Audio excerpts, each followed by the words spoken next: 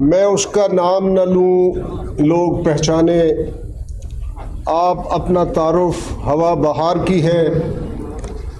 अब मैं पंजाब जुडिशरी के मीर कारवां, इज़्ज़त माब मोहम्मद जस्टिस मोहम्मद अमीर भट्टी साहब, chief justice Lahore high court Lahore से इल्तमास करता हूँ कि वो आए और ख़िताब फरमाएँ।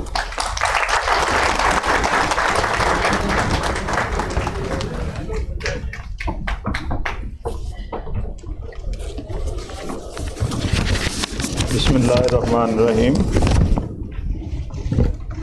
मोहतरम जनाब, chief justice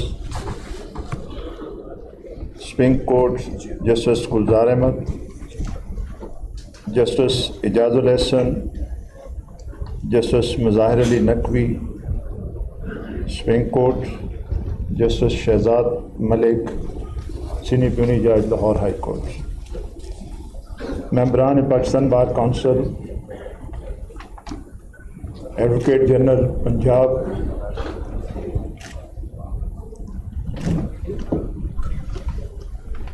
prosecutor general Punjab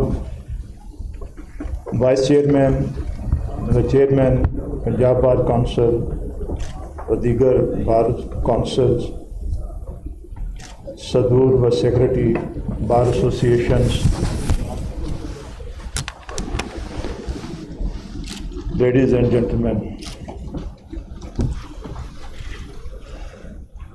Punjab bar council के नए इलेक्टेड वाइस चेयरमैन और चेयरमैन मैं ये बात अच्छी तरह जानता हूँ कि वो बहुत एनर्जेटिक हैं और बहुत मेहनत कर रहे हैं इस वक्त लीगल फेटर्निटी के लिए, उनकी इम्प्रूवमेंट के लिए। क्योंकि उनका अक्सर मेरे साथ भी इस सिलसिले में रबता रहता है। और जहाँ मेरी ज़रूरत उनको होती है, मैं कभी भी इस में बुखल का मुजाहरा नहीं किया और बढ़कर उनके लिए जो भी ज़रूरत है उनकी पूरी करने की कोशिश की गई क्योंकि ये मैं समझता हूँ कि इस इंस्टीट्यूशन के हेड होने की हैसियत से मुझ पर यह ज़िम्मेदारी आयद है कि मैं बार और बेंच के रवाबत और उनके तल्क़ को बेहतर से बेहतर रखने की कोशिश करूँ। और इस सिलसिला में high court bar association, Punjab bar council, even Pakistan bar council के मेम्बरान जो हैं ऑन बोर्ड हैं। कुछ बातें यहाँ ऐसी जो शुरू की गई, उनमें कुछ मैं भी ऐड करना चाहता हूँ। ज़रूरत प्रोटेक्शन एक्ट की क्यों पड़ी? ये कभी नहीं सोचा गया। आज से 25 साल पहले 30 साल पहले तो इसकी ज़रूरत नहीं थी। क्यों हमने ऐसा माहौल पैदा कर दिया कि हम जो बुकला सिर्फ़ और सिर्फ़ कलम का इस्तेमाल करते थे, हमने डंडा सोटा उठा दिया। क्यों उठाया? ये रीज़न जो है आपने खुद देखनी है। और जब तक इसको आप वापस नहीं करेंगे और अपनी कलम पर वापस नहीं आएँगे, उस वक्त तक इस किस्म के आपको ज़रूरतें पड़ती रहेंगी। इसलिए मेरा कहना यही है कि हमें कलम की तरफ़ वापस आना चाहिए। हमें अपनी ज़बान शाइस्ता रखनी चाहिए। हमें कोर्ट्स में पेश होते वक्त ये कहाँ का असूल था कि कोर्ट्स के साथ आप मिसबिहेव करें। और इस बात को अब किसी हद तक मैं ये समझता हूँ कि पाकिस्तान बार काउंसिल ने जो रेजोल्यूशन किया है अब, और उस पर पंजाब बार काउंसिल ने उस पर अमल किया है, जिसकी वजह से ये काम कुछ किसी हद तक रुक गया है। और इसके लिए मैं पंजाब बार कौंसिल और पाकिस्तान बार कौंसिल के मेंबरान और वाइस चेयरमैन दोनों का इस लिहाज से मशहूर हूँ कि उन्होंने मेरे लिए ये तमाम काविशें जो हैं मेरी सोच के मुताबिक उन्होंने आगे बढ़ाई और उसमें सिलसिले में मैं इस तरह बार कौंसिल, बार एसोसिएशन के ज़रिए वकला के वो एलिमेंट जिन, जो अननेसेसरी जज साहबान पर इन्फ्लुएंस हो रहे थे, उनको रोकने में मुझे मदद मिल रही है। मैं इसके लिए इनका शुक्रगुजार हूँ। लेकिन हमें कुछ बातें खुद भी अपनी तरफ़ से वकला हजरात को, जो मेंबर पाकिस्तान बार काउंसिल हैं या प्रोविंशियल बार काउंसिल हैं, जी, जब तक आप चेंबर प्रैक्टिस को वापस नहीं लाएँगे उस वक़्त तक हम वकला की ट्रेनिंग जो है, जो ये जो लेक्चर से हो रही है, इससे इतना फ़ायदा नहीं हम उठा सकते जो हम चेंबर में अपनी प्रैक्टिस और उनकी तरबियत करते हैं। जिस तरह कहा जाता है कि माँ जो है, वो बच्चे की पहली तरबियत गाह है। इसी तरह सीनियर्स और चेंबर प्रैक्टिस में जो सबसे ज़्यादा अमल है तरबियत का, वो उस चैम्बर से है।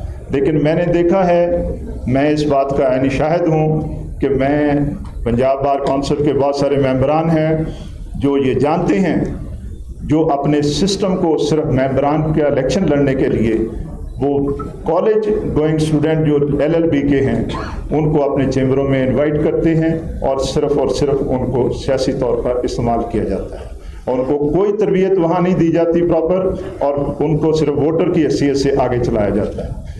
इसलिए इस प्रैक्टिस को ज़रा डिसकंटिन्यू करें और उन चीज़ों को सामने रखें कि उनकी तरबियत कैसे करनी है ताकि वो माशरे का एक अच्छा हिस्सा साबित हो सके।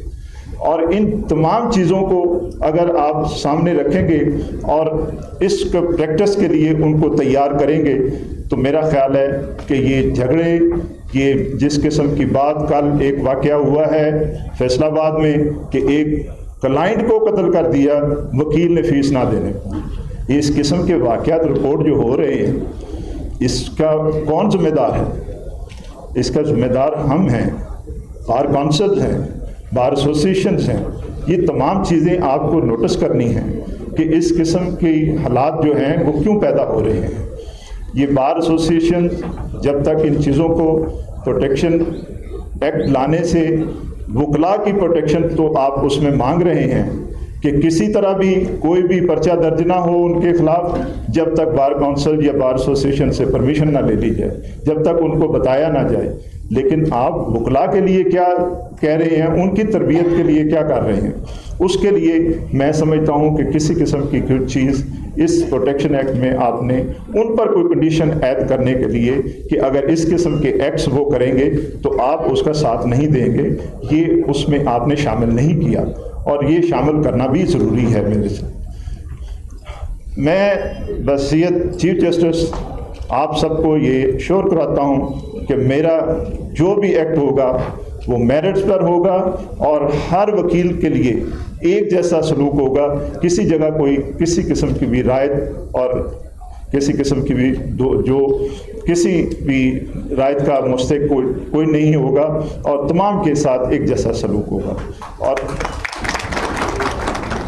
और इसके लिए आपको हमेशा मेरा दरवाज़ा खुला मिलेगा और मैंने एक सिस्टम दिया है। सिस्टम में आपकी कोई कंप्लेंट सबसे पहले डिस्ट्रिक्ट जज के पास जाएगी। किसी के मतलब किसी बार एसोसिएशन के एक्ट के मतलब बार बेंच के किसी भी जज के मतलब कोई कंप्लेंट है तो वो डिस्ट्रिक्ट जज रेलिवेंट जो डिस्ट्रिक्ट जज हैं, उनके पास कंप्लेंट जाएगी। उस कंप्लेंट को अगर वो विद इन वीक रिड्रेस नहीं करते तो वो अपने कमेंट्स के साथ एडमिनिस्ट्रेशन जज जो हमारे एडमिन जज हैं इंस्पेक्शन जज हैं, वो उनके पास डिस्ट्रिक्ट जज साहब वो अपना केस सबमिट करेंगे।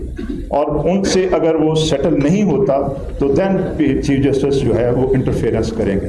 ये जो सिस्टम ओरिजिनल सिस्टम हमारा था, मैंने उसे बहाल किया है और इसी सिस्टम के तहत हम आगे बढ़ेंगे। और इन अज़ीज़, मुझे यकीन है कि अब जो है डायरेक्ट जो है चीफ जस्टिस साहब चीफ जस्टिस के पास कोई कंप्लेंट डायरेक्ट नहीं आ रही और ज़्यादातर मामला इससे फ़ायदा ये हुआ है कि डिस्ट्रिक्ट जज साहबान अपने लेवल पर उनको रिजॉल्व कर रहे हैं, जिससे स्पीडीली जो जस्टिस जो है वो मिल रहा है। मैं इन तमाम बातों के साथ आपका शुक्रिया अदा करता हूँ कि आप सबने यहाँ हमें इनवाइट किया और मुझे मौका दिया कि मैं अपनी बातें जो हैं आपसे शेयर कर सकूँ। Thank you very much